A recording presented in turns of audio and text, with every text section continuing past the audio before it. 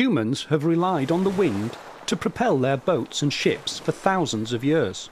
But when there was no wind, they only had their own muscle power. To cross an ocean, they would need more. With the development of steam power in the Industrial Revolution, the energy stored and hidden in coal or oil was harnessed and could be turned into power to move things. Humans could now travel and transport things anywhere and whenever they wanted.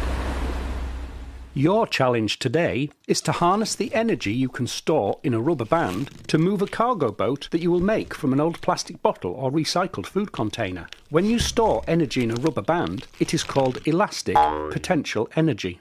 For this activity, you will need a nice clear space to work, some scissors and a ruler. You can use old plastic bottles or food tubs for the hull of your boat, and pieces of recycled plastic or lolly stick to make paddles or propellers.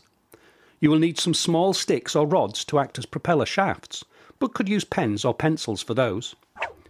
You should pick a rubber band that is around 10 centimetres long when unstretched and about 5 millimetres thick. If you only have thinner or shorter rubber bands, you can combine them to make them similar. You will need a good sized bowl of water to test your rubber band cargo boat. A bath or a large tub is ideal. It should be big enough so that your boat can travel forward at least 20 centimetres. You will need a stopwatch to time your cargo boat. This could be an app on a phone. Make sure you keep anything electronic away from the water though, and ask for help if needed. Finally, you will need some cargo. 250 grams of small stones or gravel would be ideal, but you could use glass beads or plastic toys that you don't mind getting wet. You could use a beam balance if you've made one to weigh this. Check your bottle or tub you want to use is big enough to float with your cargo in. You can store energy in a rubber band by twisting it. You can use the twist to grip and hold a paddle. Here is an example of a boat made using a twisted rubber band. The rubber band is held with two rods attached to the hull. You can also stretch and wrap a rubber band around a rod or shaft to store energy. When the rubber band unwraps, it will turn the propeller shaft and any paddles attached to it.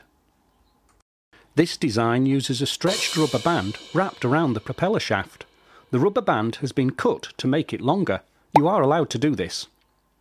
When you have a working rubber band cargo boat loaded with 250 grams of cargo, it's time to test it. Find some water big and deep enough for your boat to travel at least 20 centimetres to a finish line. Store the energy in the rubber band and start timing when you release it. Stop when the boat reaches the finish line. You will have a time.